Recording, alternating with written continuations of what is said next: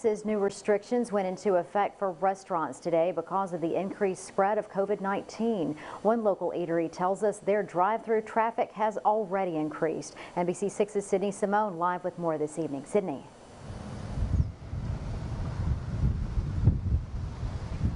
Well, Heather, starting today, restaurants in Texas are required to go back to 50% capacity to stop the rapid spread of COVID-19 cases. Because of the high number of positive cases of COVID-19 and hospitalizations, large gatherings of 100 people or more must be approved by local governments. Now, restaurants are concerned about traffic flow for dine-in services. The owner of Local Luna says they put out street signs and banners to let people know their dining room is open.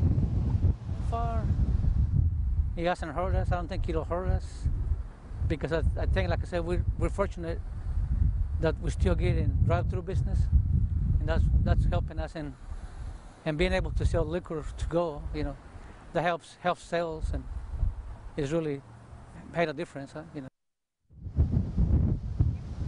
Restaurants with bar tops are still open, but seating could be limited. Bars on the Arkansas side are open as well, and the restaurants are sitting at 66% capacity. Live here in Texarkana, Texas, Sydney Simone, NBC6 News. Back to you, Heather.